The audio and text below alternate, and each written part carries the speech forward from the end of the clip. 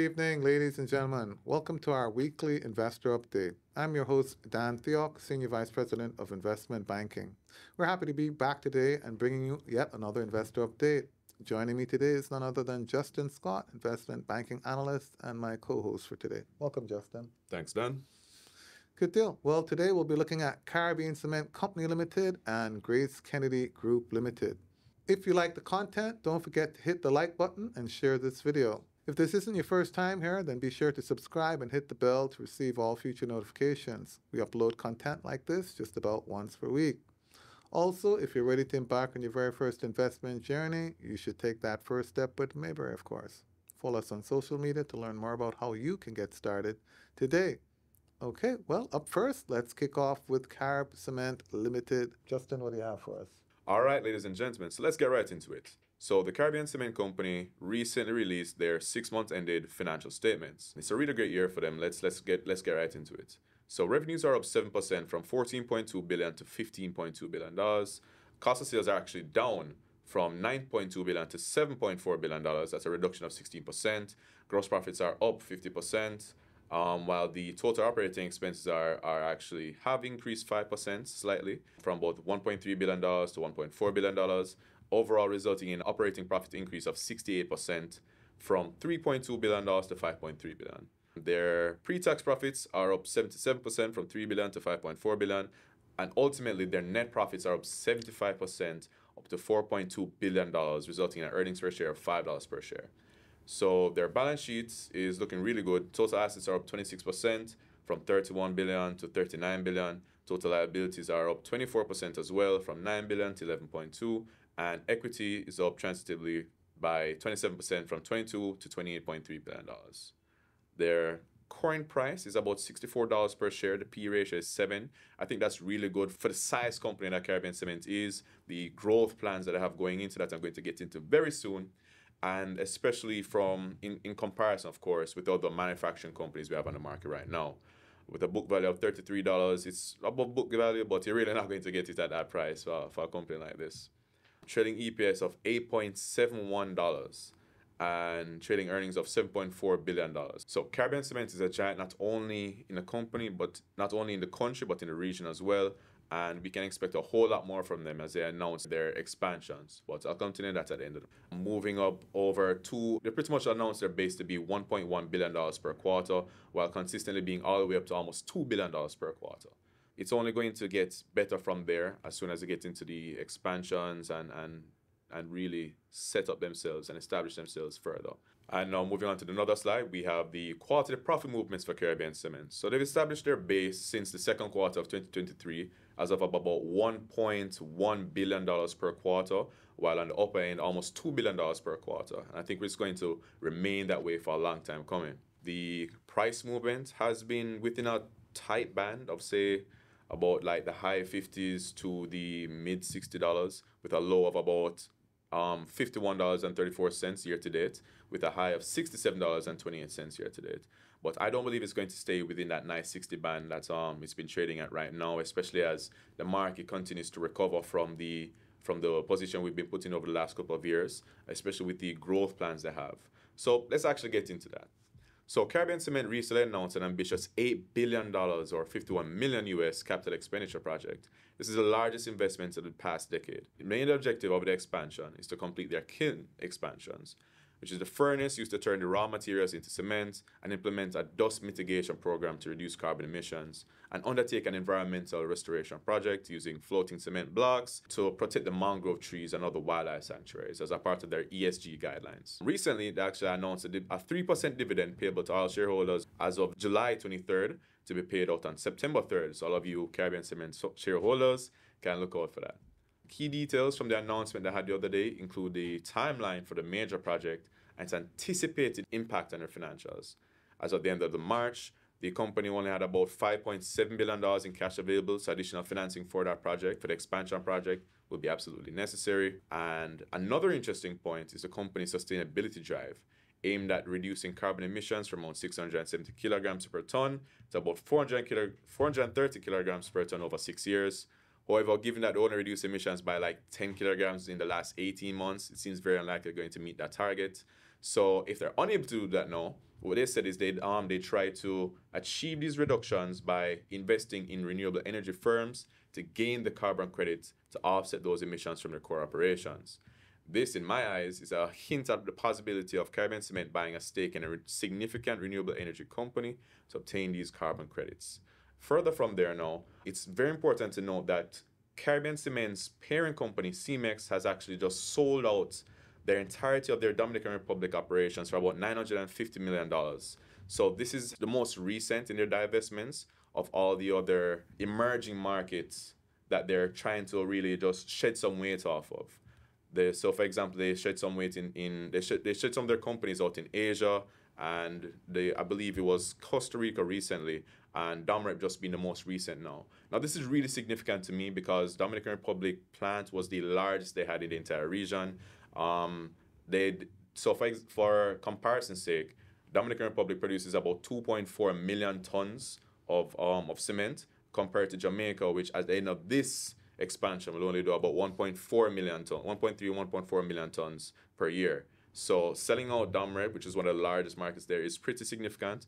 And there are two schools of thought to come from this. Whether Caribbean Cement buy be up for sale as well for that same company, who's been buying their operations out in Guatemala, or whether they're not that the operations and the quality of what you know Cemex has from the Caribbean Cement operations is so much more worth it to them, considering that it's a listed company, the quality of the aggregates that they get, and all the other benefits that they have in maintaining in Jamaica is worth it to them to maintain it in their portfolio rather than sell it out as they've been doing with the other portfolio companies. So that's some of the interesting things going on with Caribbean Cement. If you're a shareholder, you're in for very interesting times. And if you're not, maybe this might be some time to take a good look at Caribbean Cement and to take an interest. Uh, Dan, any thoughts on Caribbean Cement? Yep, this one is definitely a buy, buy, buy. So three thoughts come to my mind, Justin. One, you know, infrastructure is definitely um, what the focus is of the government of Jamaica going forward um, over the next decade. When we think about the need to improve roads, housing solutions, we really have a lot of capex, and you're going to find the government's making a lot more space for infrastructure development, and that means we're going to need cement, cement, cement. Second point is this stock is trading at a 7.35 times PE, and that's about 36% below the main market average of 10 times. So this stock is undervalued by at least 36%, and I expect within the next two to four quarters, you're going to see the stock price therefore adjusting back up to about $85 three, interest rates are going to be trending down, and that naturally is going to result in PEs also increasing on the market. And then I'll give you a fourth one.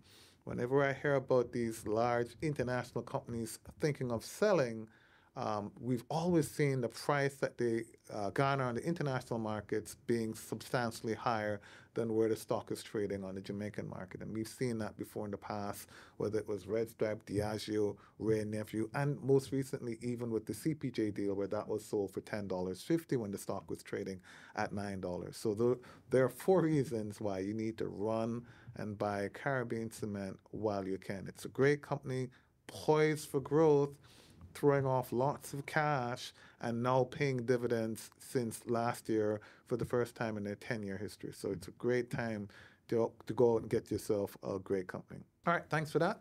Up next, we want to take a look at Grace Kennedy Group Limited. And first up, I want to send a big up and special commendation to Senator the Honorable Don Wehby, CD, now OJ, Congrats, Don. And congrats also on your financial results. Let's jump into it. So we're looking at GK's results for the six months ended June 30th, 2024. And first up, we can tell you revenues are up 8% to $84 billion for the half year. Now, I remember when GK broke $100 billion per annum perhaps three, four years ago. Now they're almost doing $100 billion in the half year, $84 billion uh, in the half year, up 8%, and that's uh, due to great performance from the food division, and we'll jump into that in a second. Uh, cost of sales moving similarly by about 8%. Uh, profit before other income jumping 2%, therefore to $4.275 billion. We saw improvement in other income to $2.17 billion. That's a 14% improvement. And the net result is profit from operations are up by 6% to $6.45 billion. Small creep in finance cost uh, to $555 million um, offset by the growth in the share of results in their associates and JVs, which is now up to $560 million. And the net, net, net is the profit before tax is up by 5% to $6.45 billion for the half year. And the net profit attributable to shareholders similarly up by 6% now to $4.435 billion. This results in an earnings per share for the half year of $4.46. Trailing earnings of um, $8, with the trailing earnings being $8 billion, dollars, and with a stock price of $73.52, this translates into a PE ratio of 9.12. So that's about 12% below the market. So this is another stock, again, that I'm going to predict that we're going to see this price jumping by 15 percent over the next 12 months because GK continues to do exceptionally well. They'll benefit from the fall in interest rates. We'll see PEs trading up in general. And this is a solid, solid company. It's really hard to bet against a company like Grace Kennedy that's been around for a century really growing and strengthening the position in the food business. When we look on the next slide, you can see the breakup of the revenues, and we can see that 66.5 billion, or approximately 79% of their revenues, is coming from the food division. And then we can see what's happening with the banking and insurance and the money services space. Uh, similarly, we can see $4.3 billion of the profitability is also coming from the food trading business. And we can see the next largest earner is money services, which was down marginally, uh, falling to $1.46 billion. We saw some growth in insurance at $975 million and some growth in the banking segment to approximately $600 million. But the food trading division is doing really well, and we've seen growth pretty much in all of the regions that they're operating in UK, Canada, US, throughout the Caribbean. It's a strong brand, very strong with the diaspora all around the world, I have to say now. And so it's really hard to bet on GK now making up approximately 45% of their revenues from overseas. So that diversification strategy uh, by region is going very well. We now see them earning a large amount of their revenues outside of Jamaica. And so it's great to see a big conglomerate like GK expanding in the way they're expanding and doing as well as they're doing. I had one word of advice for Don, I would say, hey, perhaps you should think about breaking out the financial services and insurance business. I would separate it. This group has got to be really massive. It's got over 50 companies in it, and I think Don's doing an exceptional job of keeping it all together. But perhaps, Justin, it's time to think about spinning off the financial services and insurance business. I think it would actually do better for the group. But that being said, performance is still phenomenal. No complaints from me. On the next slide, we see the operating profit by quarter, and you can see that this is a company that's now doing $2 billion per quarter on the regular. And I really do expect to see that continuing to grow in the future and that explains why the trailing 12-month uh, earnings profits was uh, approximately $8 billion. And so I expect to see that continuing to grow uh, as they expand overseas and strengthen their footprint within Jamaica. And what I like about GK is we always see them out there doing acquisitions. They're not afraid to do it, expanding in the water business, um, expanding in agro processing. And so it's great to see the group growing and expanding in the way they are. Next slide shows the movement in share price. And what we can see here is the share price is traded down to $73.52. In the last year, it's had a low of $60 and a high of $82.90. I expect to see this stock fully increase back into the $85, $90 region within the next six to nine months. And again, as interest rates trend down, we will see the stock break the $100 uh, barrier and continue to grow in the future. So this is a great one to have in your portfolio. You know, it's one of a few companies out there uh, like Caribbean Cement that's about building and producing. Uh, and, and we like to see that. It's great to have one of the financial service companies in your portfolio, but they don't truly produce or manufacture. Those are services. Uh, so it's great to see manufacturing, production companies doing exceptionally well. And here are two examples in the form of GK and Caribbean Cement. So definitely not too late to go out and get either of them. Justin, your thoughts on GK? Yeah, Dan, I definitely do agree with you. I think it's time for GK to split up some of their services as they are. So, for example, food and trading would be one entity separate from the money services entirely. Uh, so that way, it's not impacted by some of the more volatile nature of the of the whole um, money market as it is right now. You know, if you're even thinking about some of the money services, I know they're pretty impacted by remittances, which aren't as great, which aren't as up as they would have been, say, two years prior, even so, even then. So it'd be really great for them to separate that, and then even then, so um, when things are actually back on the up, it's a much more leaner operation. I can really advance with more flow of the time. So I think it would be great for them to do so. Um, but as it is right now, food and trading, as you said, is, is definitely looking great. It's expanded. It's it's really deepening their reach in the overseas markets, and it's only better from them going from here, especially as they continue to go out and acquire more entities, uh, continue white labeling and and um and really specking more into into this into the stations as they are. So yeah, looking forward to seeing what Grace has coming further from here. I think I think we should continue seeing great things from them.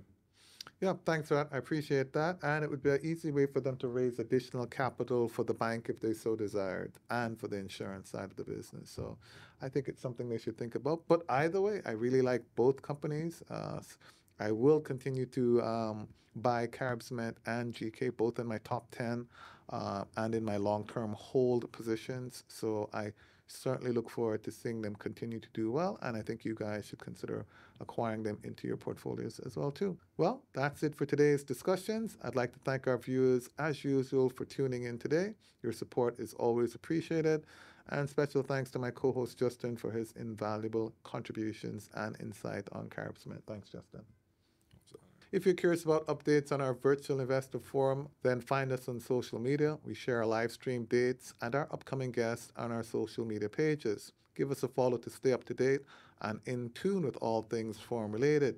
Also, don't forget to subscribe to our YouTube channel, Mayberry Investments Limited, and click on the bell to receive notifications. Well, remember, wise investors, slow and steady wins the race. Keep safe, everybody. Bye bye.